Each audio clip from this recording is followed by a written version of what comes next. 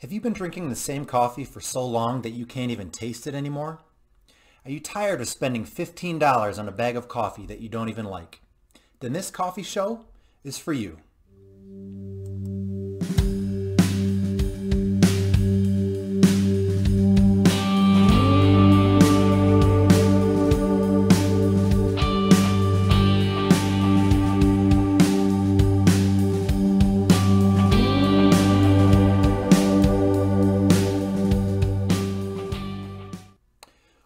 To the Bracketology of Coffee, Season 2, Round 4. The theme of this season is inexpensive coffee.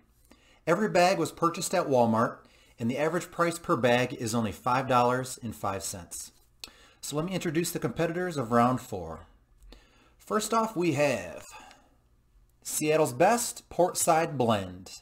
They recently rebranded their coffees, and this was previously called Signature Blend Number 3. Uh, the origin is Latin America. 12 ounces goes for $5.38. It's a medium roast, and they ranked number three in my brackets. Going up against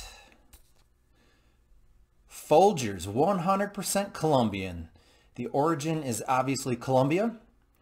This 10.3 ounce can goes for $3.72. It's a medium roast, and they ranked number six in my brackets. I love to include coffees like this because I did a blind coffee tasting with my parents a few years ago, and one of the Folgers blends actually won in a blind taste test. So it'll be very interesting to see how this one does. Just because it's been around a long time and it's cheap doesn't mean it's not good. So um, I like to give them a fair shot. We'll see how they do. Um, let me give you the uh, how this works. I prepare my coffees in a French press. The recipe I use is one tablespoon of coffee grounds for every five ounces of water. I steep it for four minutes. The competition consists of two halves. The first half, I drink them both black, fresh out of the French press, and in the second half, I add some cream. Each round, they'll be scored out of 100, so the maximum points any coffee would score would be 200 points. Let me get these coffees steeping, and I'll be right back. Thanks for watching.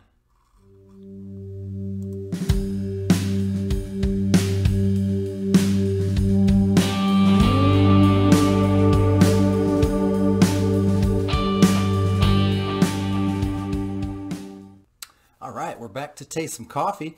Uh, two quick footnotes before we begin. I want to make it clear that I'm not a super taster. 25% um, of the population is thought to be a super taster, and I consider myself an average taster. This is just a fun uh, coffee competition, allowing us to kind of discover new coffees and um, see what else, uh, see what other people are drinking out there, what's delicious, what's um, reasonable, um, just kind of expanding our palate a bit. What I look for in coffee is drinkability, and I define that as something that is smooth and flavorful with a pleasing aftertaste. So I'm pretty excited for this matchup. I think it's going to be a good one. I'm going to put some coffee tips on the screen for you. And let's get started. So the way I do it is I drink it twice. The first taste, I'm just getting an overview, and I'll score it on the second taste. So let's get this first half going. This is the Seattle's Best Portside Blend.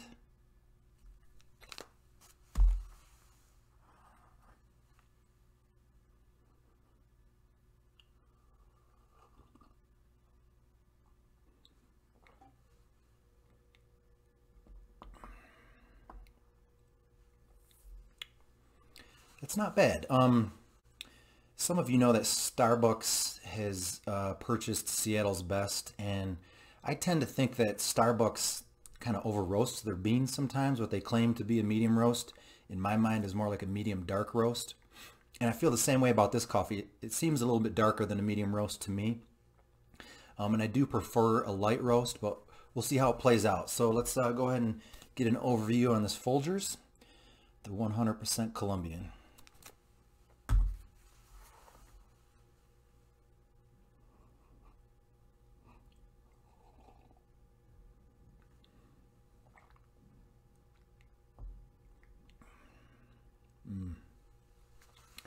They also claim to be a medium roast, and that definitely does taste like a medium roast to me. Um, I love Colombian coffee, and I'm not getting a super strong Colombian flavor. Um, nevertheless, it is pretty drinkable. So uh, let's go ahead and score the Seattle's best. this is going to be a tough one for me. I know this is my buddy Simon down in Atlanta. This is what he's drinking right now, so uh, I don't want to let him down, but I also want to be fair, so we'll see.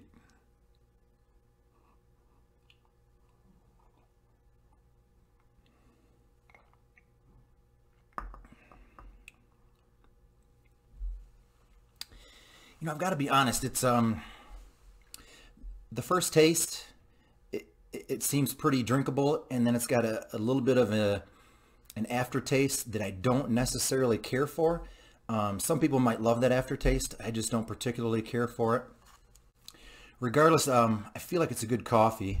Um, I'm going to give them an 82. And now for the Folgers.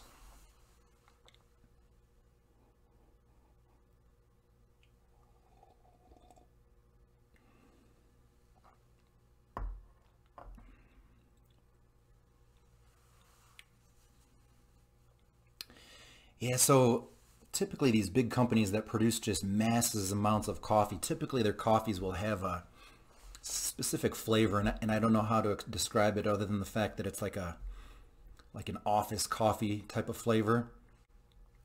Not horrible, uh, but also not great. Um, man, this is a tough one. I think uh, I think I'll give them an 81. And if you've seen my competitions before, it's not so much about the score as it is the score in comparison to who they're going up against.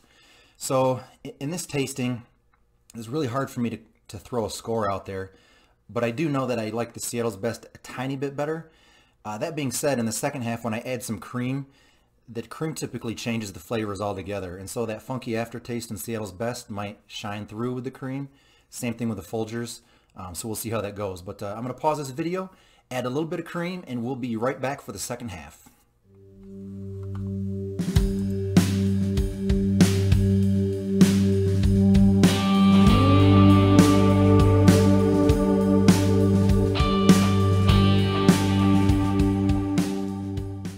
All right, we're back for the second half of this competition.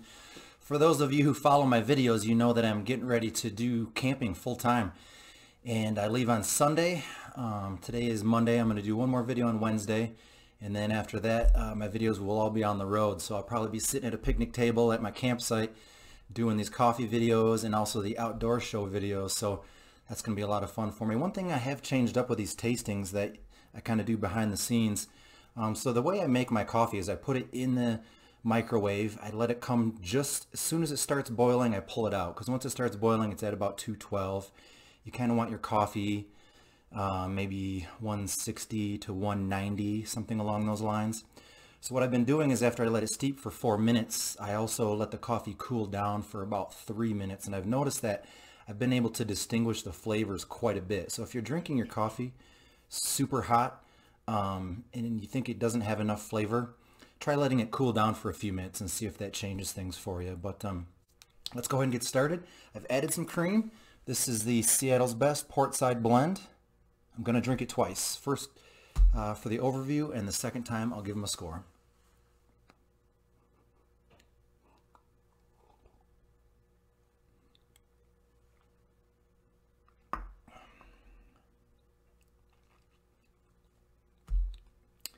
Yeah, so the cream has, as I mentioned, has changed up that flavor quite a bit. Um, I do like it better with the cream. Um, we'll see how that plays into the scoring. But uh, let's get an overview on this Folgers.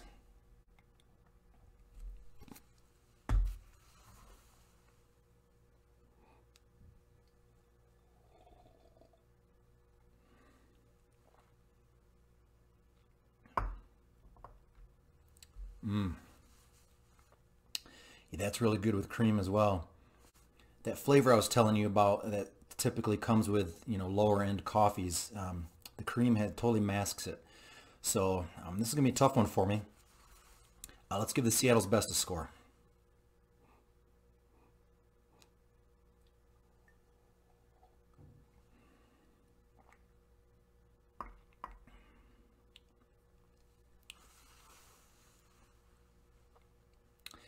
Yeah, I've just got to be honest. Um, that aftertaste is something that I don't really care for. And um, if I was a super taster, I would tell you what that flavor is, but I'm not, so I won't.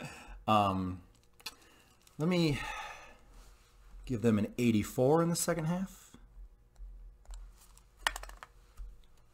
Now for the Folgers, 100% Colombian.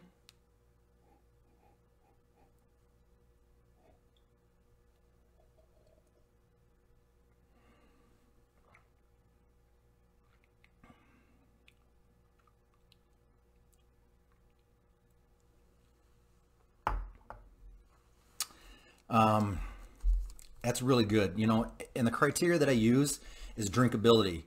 Smooth and flavorful with a pleasing aftertaste. And for a coffee that's less than $4, I mean, it's really amazing. Um, I didn't like it as much when it was black, but I truly love it um, with cream. I'm going to give them an 87.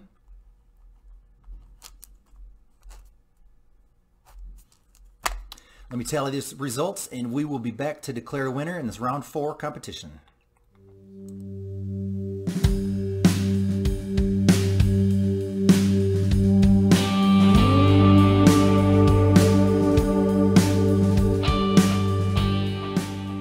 All right, we're back to declare a winner. First off, we have Seattle's Best.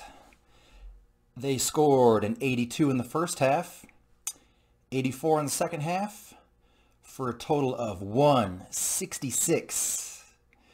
My buddy Simon is not going to be happy with me, but um, you know, I started doing this recommendation thing, whether or not I recommend this to a friend or family member. And uh, I kind of go based on whether or not I plan to buy this coffee again. And I can't get over that aftertaste. I don't know what it is.